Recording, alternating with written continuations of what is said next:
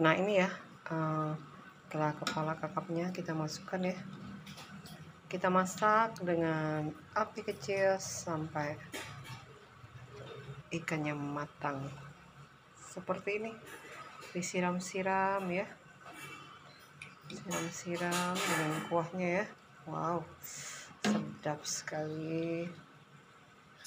Harum bumbunya ya banyak. Kuahnya juga kental mantap ini ya. Tuh ditambah dengan pelengkapnya ada daun-daun ya